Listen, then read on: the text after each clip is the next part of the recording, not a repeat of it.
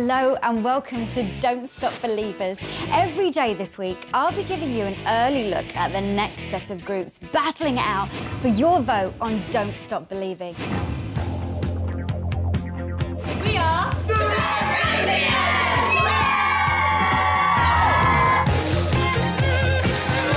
We all go to the same theatre school and we all absolutely love what we do here. Our school is very much like Fame.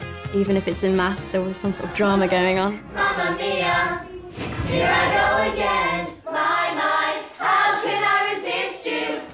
The Redroofians came about because we, as a school, have a charity called the Rosie Rainbow Fund, and we came up with the idea that we should set up the Redroofians to help raise money for our cause.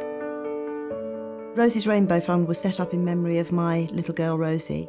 When Rosie was 11, she got ill. Um, she was diagnosed with a disease called vasculitis. She actually was on a ward with children who, who looked more sick than she did, and she used to sit in her bed saying, Mummy, I just want to do something to raise money for these children when I'm better. Sadly, Rosie didn't get better. Rosie died in May 2003. After she passed away, the kids got together and created this rather amazing group, and they just go everywhere, raising a lot of money um, for our charity. The whole school are behind them, everybody's cheering them on. Rosie from Her Rainbow will be so proud. She used to say, Don't talk about it, just do it. And I think they are just going to do it. Here we go. Five, six, seven, and. Usually we're doing three parts of different harmonies, but now we're doing five. They're not like musical theatre harmonies, they're like some kind of crazy pop hard harmonies. Whatever they've done before, you know, this has got to go up another level now. Can we have a sense of urgency about this?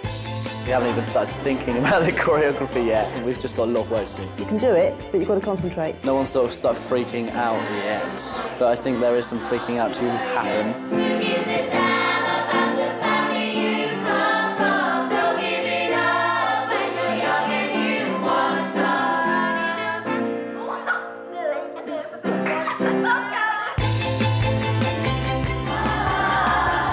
We're doing this performance not only for ourselves, but we're doing it also for our school and our charity, Rosie's Rainbow Fund, and the memory of Rosie. We just really want to nail it to make sure that everyone is very proud of us.